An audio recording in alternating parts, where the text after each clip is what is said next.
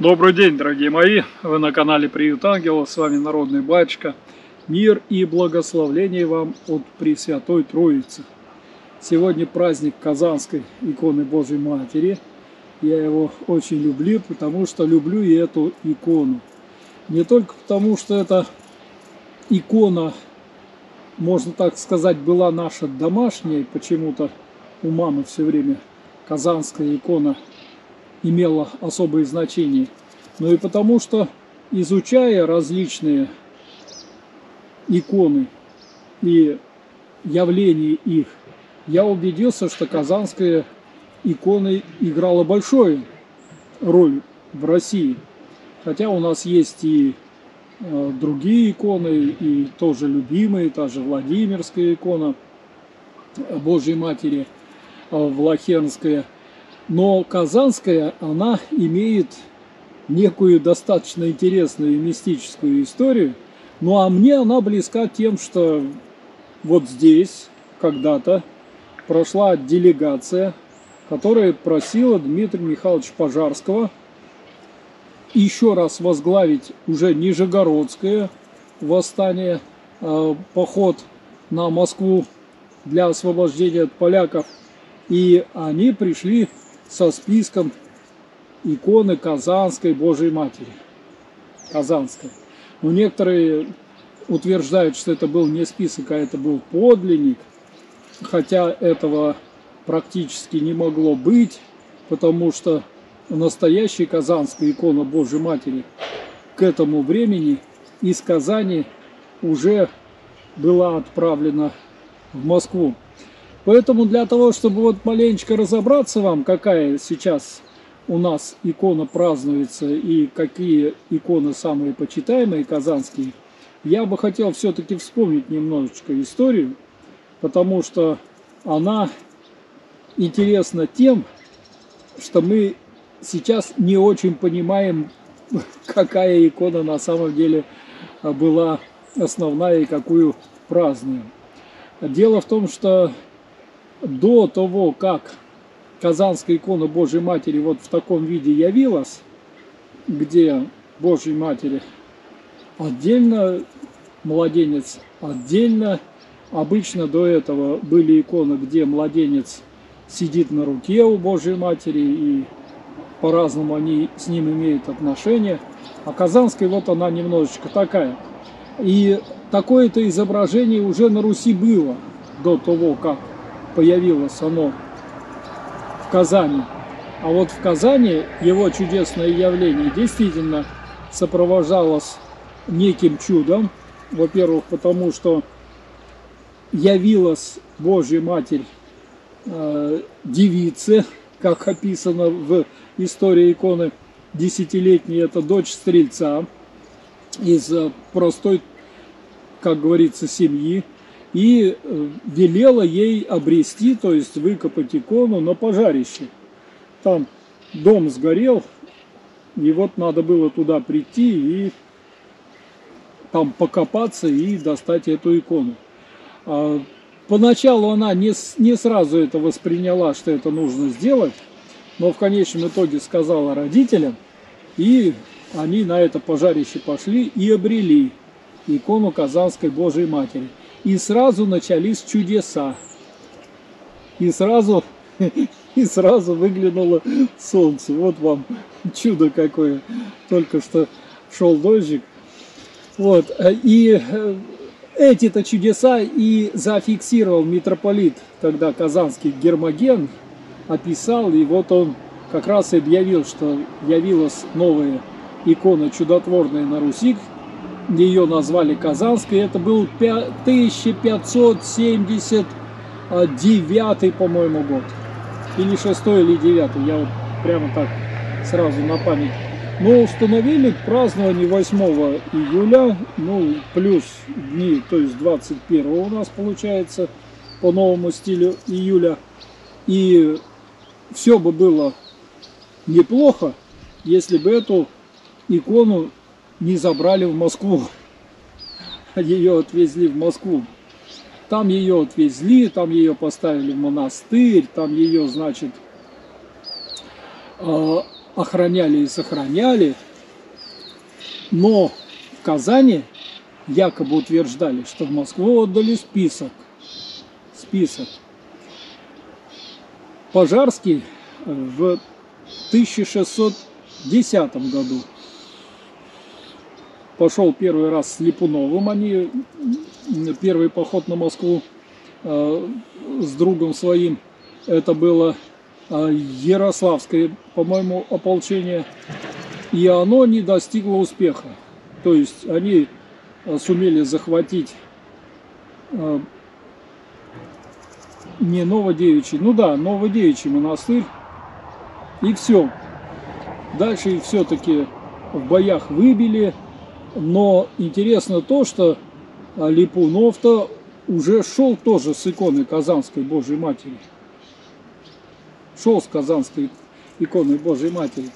А Пожарский был ранен и отвезен вот в наше, в свое бывшее владение.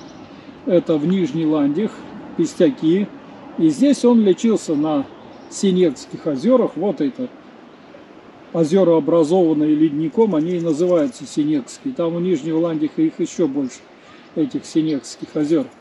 И лечась там, он не собирался идти больше на Москву, но пришла делегация из Нижнего Новгорода. И говорят, давай пойдем, и вот тебя зовет икона Казанской Божьей Матери. Они оставили эту икону у него здесь в Нижнем Ландихе.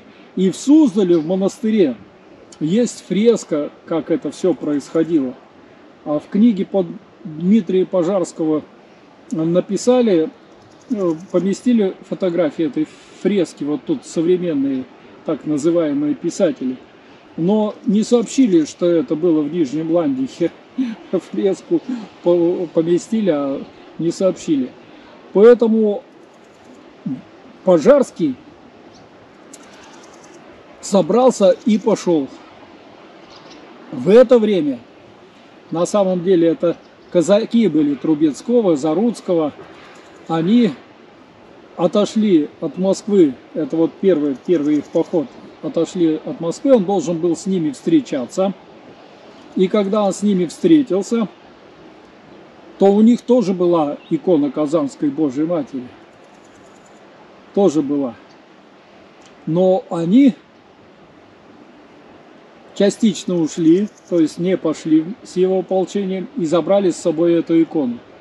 Но Дмитрий Пожарский со своей иконой, списком Казанской иконы Божьей Матери, пришел в Москву, и в данном случае он уже, как помните, осадили Кремль, э, Кремль был освобожден, правда, после долгой осады, когда там голод начался и все остальное. В общем, в конечном итоге э, наши победили.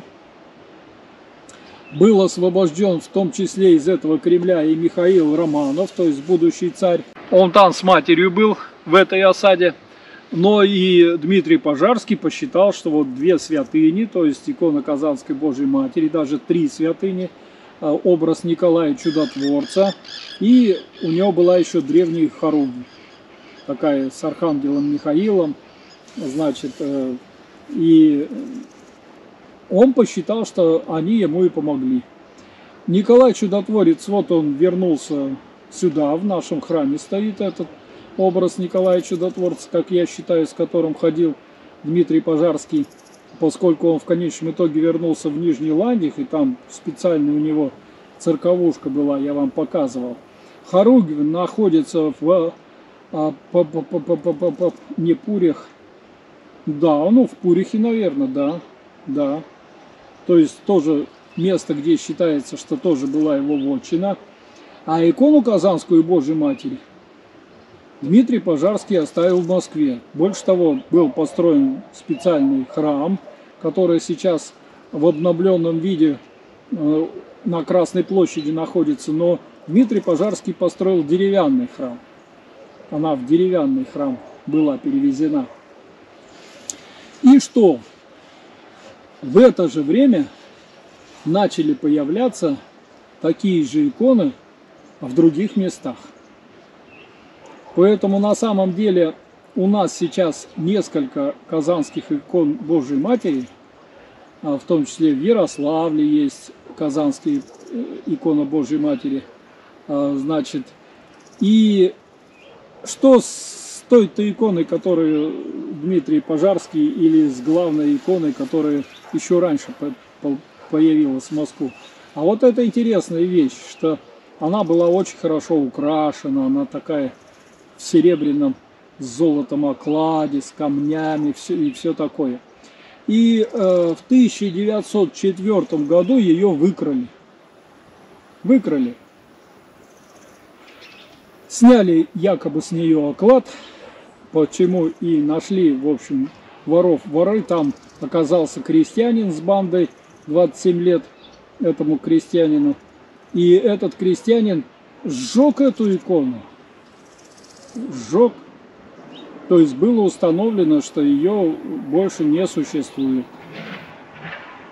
Но в это же время, как ни странно, чуть позже проявляется Казанская икона Божьей Матери за рубежом. И она попадает к папе римскому. И возникает опять версия, что вот никто ее не сжег, что ее когда-то вот схоронили, что ее сберегли, и в конечном итоге вот беломигранты ее туда вывезли, и папе римскому эта икона пришла. Папа Римский привез эту икону а, в 2004 году патриарху Алексию, ну, передал патриарху Алексию.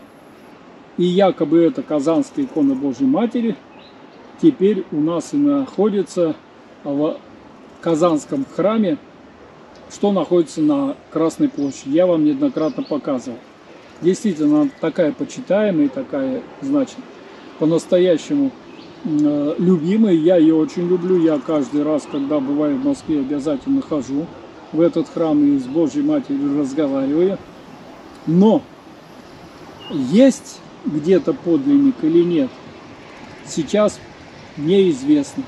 Потому что та икона, которую передал э, Папа Римский в Москву, при исследованиях оказалась икона, написанная во второй половине 18 века.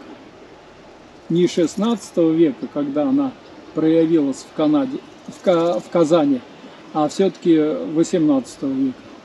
И поэтому сейчас ее Некоторые говорят и так, которые сейчас находятся в Казанском соборе, на самом деле специально список такой вот э, сделан, чтобы на всякий случай ее уберечь, если она настоящая действительно находится в оружейной палате, и поэтому как бы, э, ну в общем, как бы э, то, что у нас сейчас нет уверенности, что у нас есть тот подлинник, который проявился когда-то Казани. Это точно.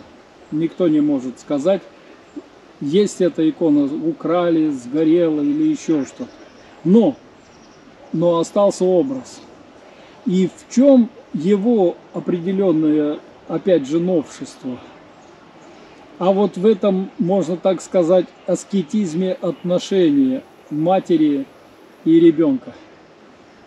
Потому что вот русское понятие – отношений, оно и было немножечко вот, вот такое, где мать не сисюкается, где дети рано начинали работать, как говорится, на Руси. Поэтому их сразу приучали, что никакой тебе материнской там вот такого сюсюканья и облизывания, а ты иди расти и работай, и давай, в общем. Ну и вот эта аскетическая форма э, такого изображения, мне кажется, и привлекла русских. Тем более, что в списках или вот в новых проявлениях, которые у этой иконы появились, она тоже немножечко обрусела, я вам так скажу.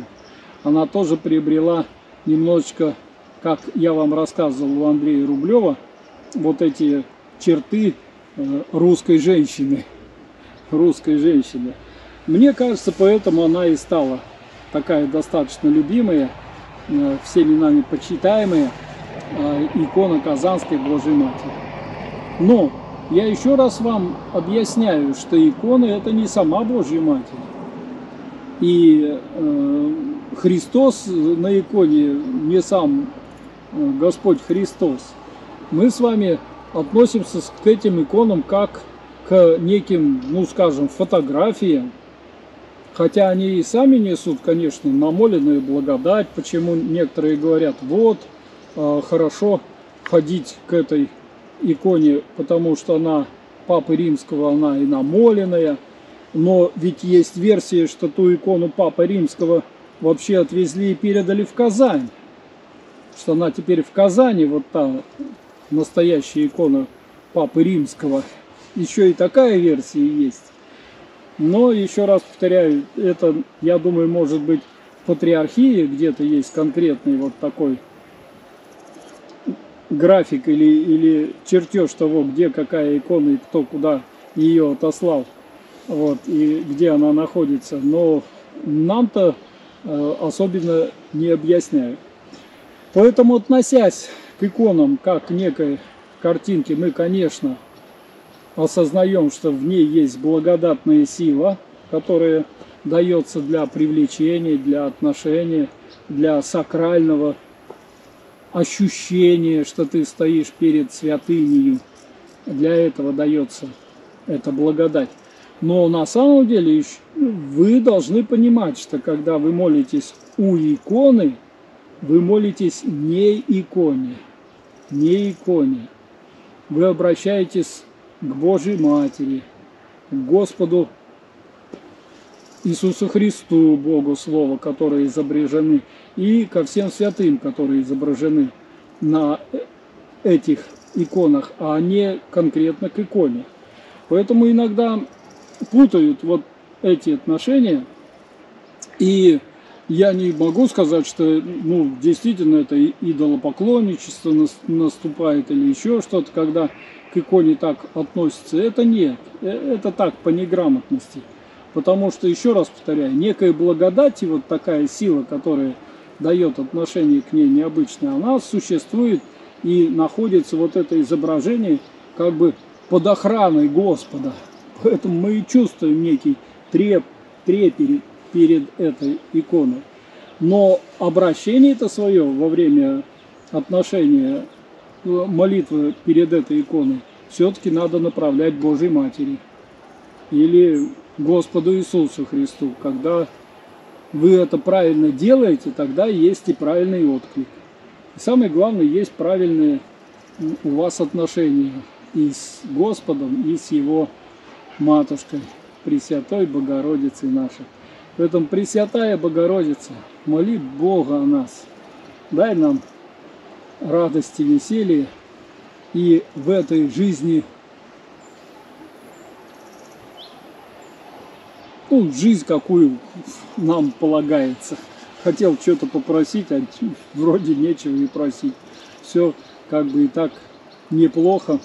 И, и черные и белые полосы есть, а это так и должно быть. Все, здоровья вам всем, радости, с праздником, дорогие мои. Вот. Как и с э, будущими праздниками всех других – икон Божьей Матери, Господа нашего Иисуса Христа, всех святых, почитая их, э, будьте верны тем, кто на них изображен. Все, здоровья всем, радости. Аминь.